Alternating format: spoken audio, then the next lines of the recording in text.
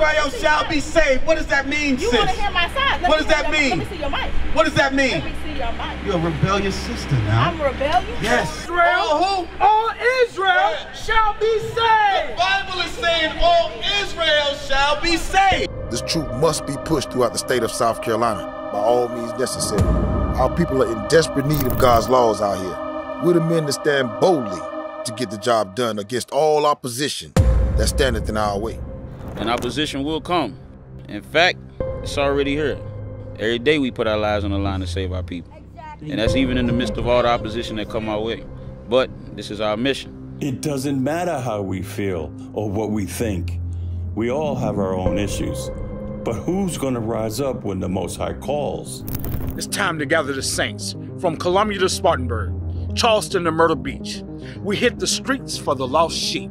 So, men of war, gather yourselves together. Let's get ready for battle. Strap your boots, no excuse. Let's push this truth.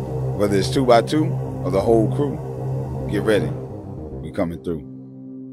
We are not a hate group. We are not affiliated with any other Israelite group. Israel, united in Christ, is a non-violent, Bible-based movement. IUIC.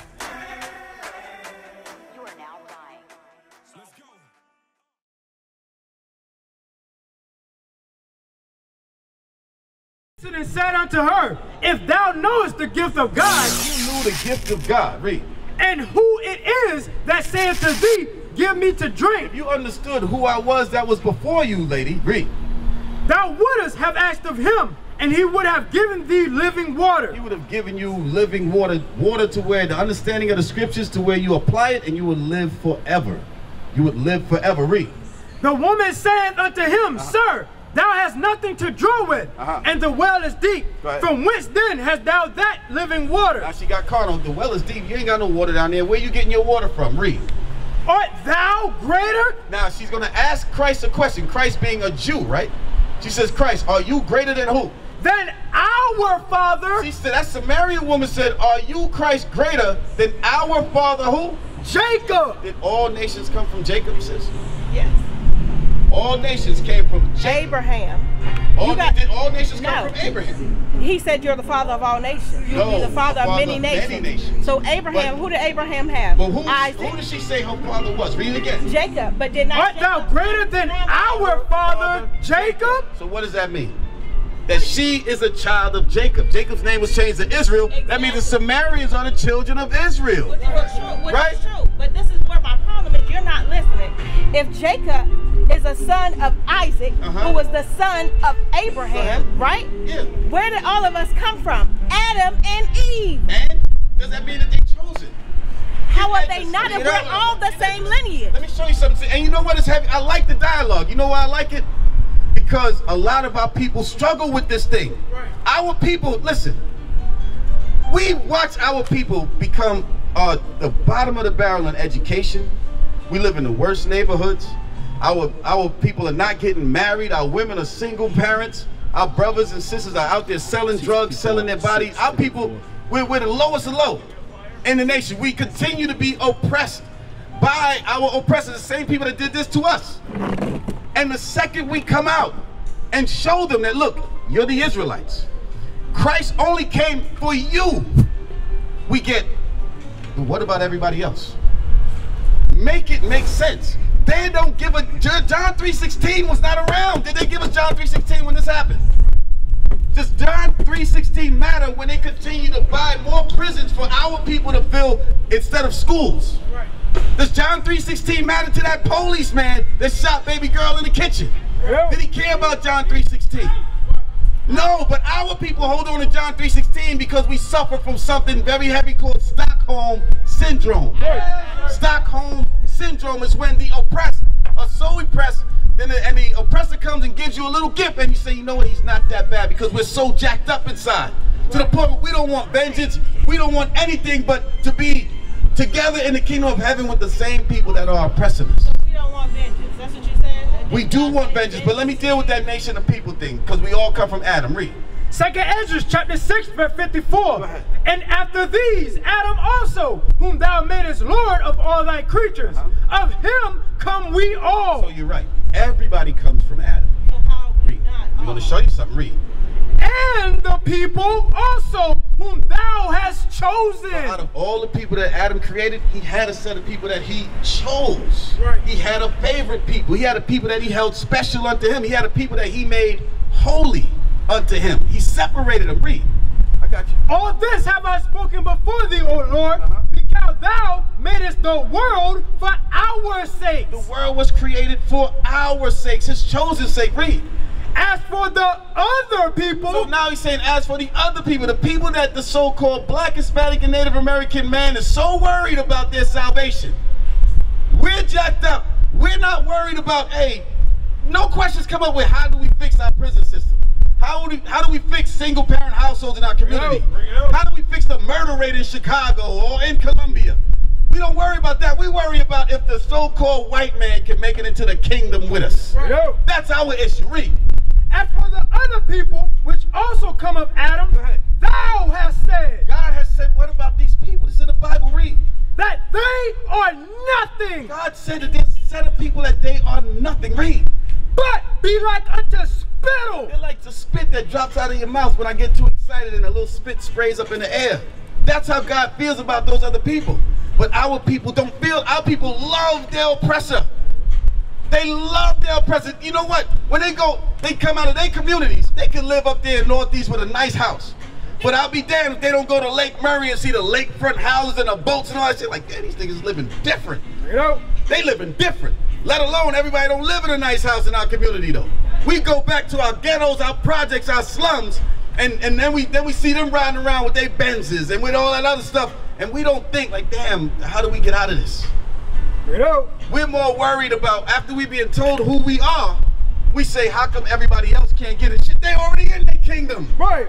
They got what they want. Christ ain't coming for them. Right. He's coming. Get that in Luke chapter 1. This is who Christ is coming for, man. What time is it? This is who Christ is coming for. Luke 1 verse 68. Luke chapter 1 verse 68.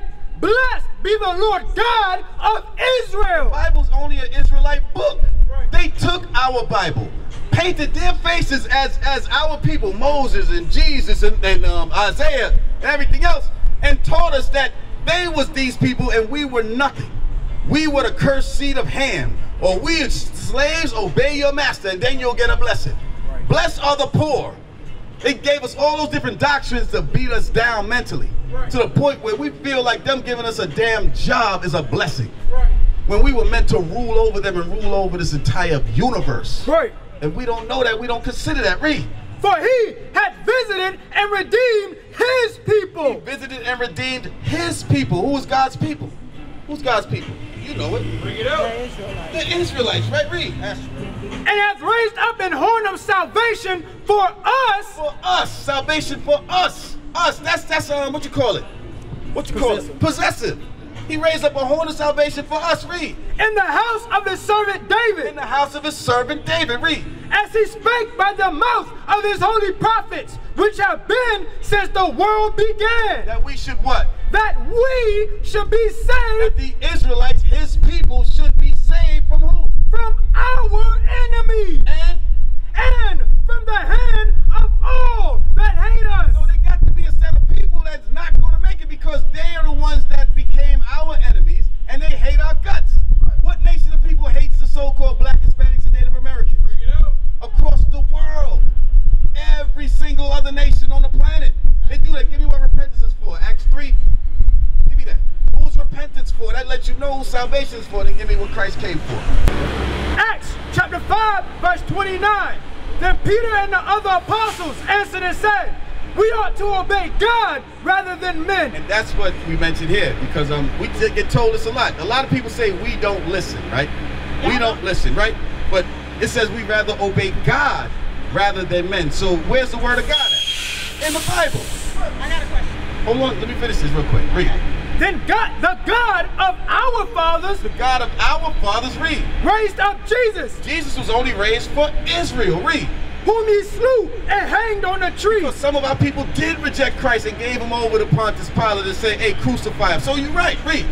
Him has God exalted. Him has God exalted now. He became a horn of salvation, read. With his right hand Right. to be a prince To be a prince, read. and a savior And a savior, and to do what? for to give repentance. Give what? for, to give repentance. We started our conversation talking about repentance, right? To give repentance to who? to The Israel. whole world.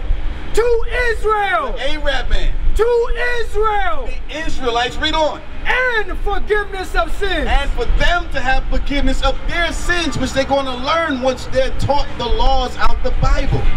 You understand that? Give me what um you got what I want. Read. Matthew chapter 15, verse 24. This is the words out of Christ's mouth now. Read. But he answered and said, I am not sent, Christ said, I am not sent. My father did not send me. Read. but unto the lost sheep of the house of Israel. Scripture says that Christ came for, to save everybody. So first, before I give it to you, who are the Gentiles? Who are the Gentiles? Another great question. Give me the Zondervan and you know what I want out of, um, what is it, Romans? Um, once were Gentiles, Corinthians. First Corinthians 12. Who were the Gentiles, right? And these are great questions. I don't want you, we're not disputing nothing. Uh, Lord's will, we can deal to that. I got one in my bag. Other side. Matter of fact, read that real quick. Go ahead. Until it gets. First Corinthians chapter 12, verse 1. Now concerning spiritual gifts, brethren, I would not have you ignorant. Uh-huh. Ye know that ye were Gentiles, It says you know that you were Gentiles. Read. Carried away unto these dumb idols. Carried away unto these dumb idols. Who was carried away from dumb idols? Go back to Hosea 4 and 17. Who was carried away unto dumb idols where he says you were Gentiles? Read that. Hosea chapter 4, verse 17. Ephraim is joined to idols. Ephraim, the northern kingdom of Israel, was joined unto idols. Read, do what? Let him alone. Let him alone.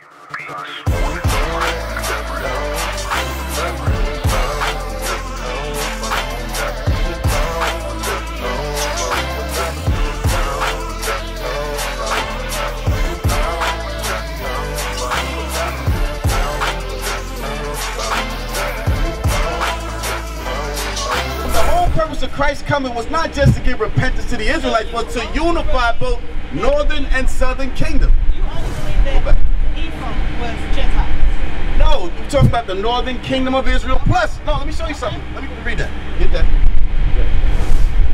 This is from the Zondervan Compact Bible Dictionary. This defines the words that are in the Bible. Read. Gentiles. Gentiles, read. Usually. What? Usually. Usually means sometimes.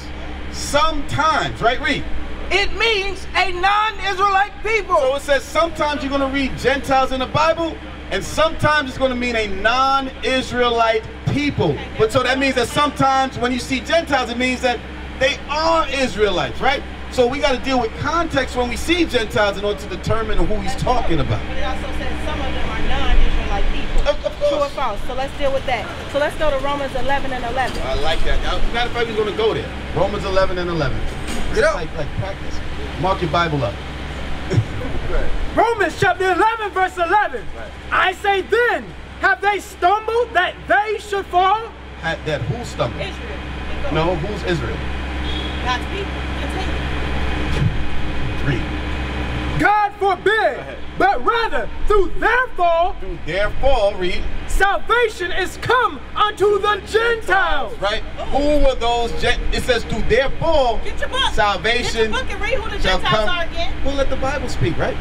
The book. Hold on, hold on. No, you know what? Get the book. Get it. Get it.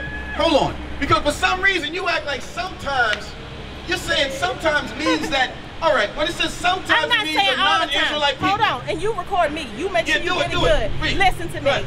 Right. Is every person chosen by God? No. No. Are we the Israelites? Yes. Okay. However, the problem is you don't want to include. Is everyone included? No. Because guess what? The angels of God, um, the angels God of is not included. Hold Hey, on. read 11, 26 You either wanna Let's- let's see listen- what Romans you say- 11 verse 26 say- says. Read. Romans chapter 11, verse I'm 26. This is Romans 11. Read. We're gonna get straight to the point. Read. Because you don't. And so all Israel, All who? all Israel, All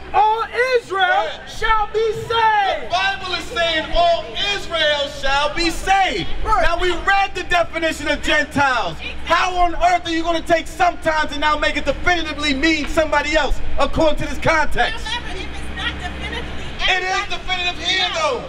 26 again. Verse 26. And so, all Israel. Romans 11 says all Israel, read. Let me see your mic. shall be saved. It saved. says all Israel shall be saved. What does that mean, You sis? want to hear my side? Let What does that mean? Let me see your mic. What does that Let mean? me see your mic. You're a rebellious sister now. I'm rebellious. Yes. And you're yes, not. because you're not humble down to the Oh, word no, of God. you're sis. not humbling. What is a nation? Nation is family. Nation is community. Nation is men leading by example. Nation is women's support. Nation is children with role models. Nation is unity. Nation is you. It's nation time.